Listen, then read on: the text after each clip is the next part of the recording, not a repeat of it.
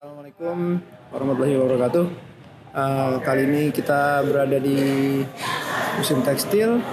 Saya mengikuti rombongan koperasi alumni uh, Trisakti. Ini lahan musim tekstil kita Jakarta. Gedung ini diresmikan pada tahun 1975 oleh Gubernur uh, Ali Sadikin Top. Oh dulu ini namanya Gedung Depsos ya. Oke. Okay. Terus apa di sini? Diresmikan pada tahun 1976 sebagai musim tekstil oleh Titin Soeharto. Kemudian Oke. Ini peresmian lagi tadi pemugaran ex gedung Depsos dipugar tahun 1975 bulan Mei tanggal 1 sampai dengan 30 Maret 1976 tentang koperasi Daun Sapi bekerjasama dengan Sudin Parput Jakarta Timur. Kita diundang untuk menghadiri kegiatan dari Jakarta Timur Sudin Parput Jakarta Timur. Di mana ada program kunjung wajib terhadap beberapa museum-museum yang ada di Jakarta. Hari ini kita akan mengunjungi Museum Tekstil dan Museum Bank Indonesia. Mudah-mudahan dari sini apa yang kita dapat hari ini bisa kita kita diskusikan di teman-teman Ika Sakti dan bisa kita coba uh, kontribusi kepada Sudin Parbud Jakarta Timur. Terima kasih dan enjoy Jakarta.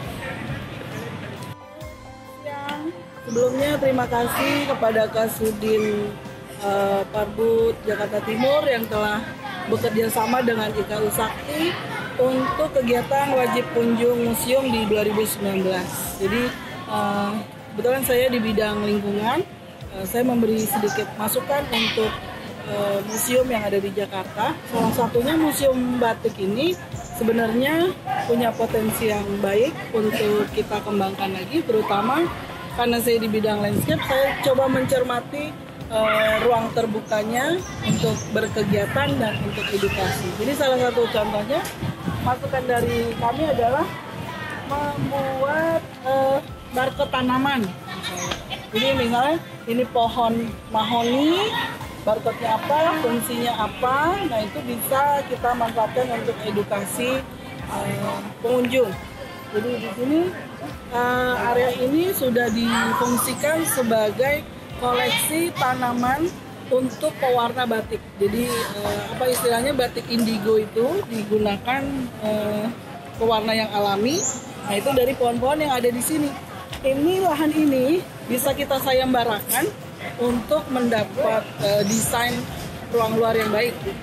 Jadi salah satunya tadi usulan kita penggunaan barcode tanaman terus untuk desainnya bisa hmm, kita buat sayembara kerjasama lagi.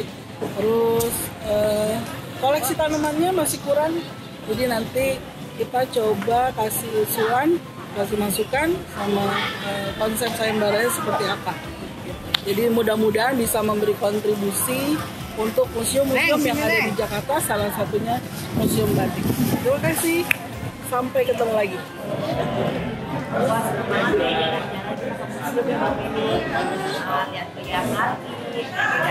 alat-alat semua yang pokoknya yang pernah kita lihat masih cuma tidak pernah fokus akhirnya kita fokus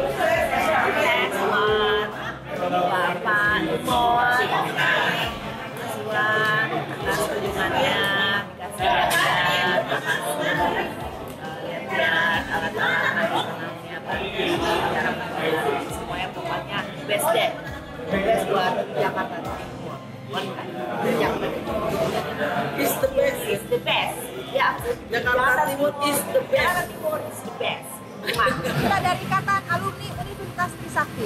Jakarta. dari Kesakti di TV Trisakti. Wajib kunjung museum ya jangan lupa oh, kita dari buat abangnya lebih lo kita kali buat TV Trisakti loh. Inget loh. Jangan lupa. Pak Tobi bikin dong. TV Trisakti subscribe subscribe subscribe like like like Abila M Channel. Halo, nama saya Bang Alex. Halo, nama saya Non Melvi. Nama saya Bang Mario. Saya Non Fiera. Kami, kami dari Abang Halo, None Jakarta Jakarta Timur. Terima kasih. Halo, saya Non Fiera dari Jakarta Timur. Lagi ada di Museum Tekstil. Kita banyak punya kain-kain dari berbagai suku di Indonesia. Terus karena di sini kebetulan lagi ada pameran juga di dari negara lain tuh ternyata juga punya ikat tadi saya sempat lihat dari Afrika Barat, kemudian Amerika Selatan, terus Eropa. Dan sekarang kita lagi di ruang tentang pengenalan proses ikat. Jadi seperti lihat kita ada alat-alat yang menarik banget nih museum tekstil. Ayo datang ke museum tekstil.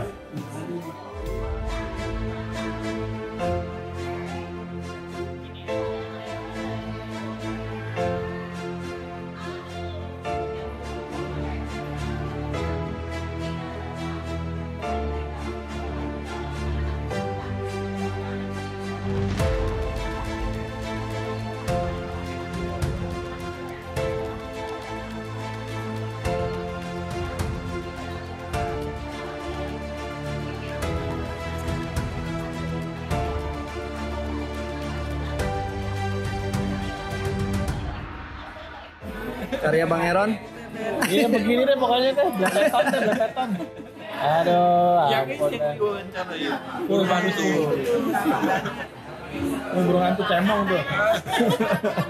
Disesuaikan nih. Ampun.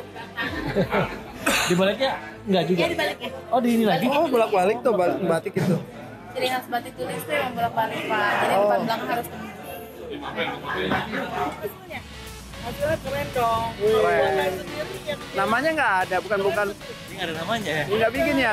Tanda tangan Oh iya. Oh, kita tangan. Tantangannya nyamar ya. Rahasia ya. Yoi. Bin. Ini mau? Oke, boleh. Mantap. Ini pada pamer hasil karyanya. Ah, ini ada yang mau thread? Foto kamera yang langsung Siapa ya? Siapa yang moto? Esa.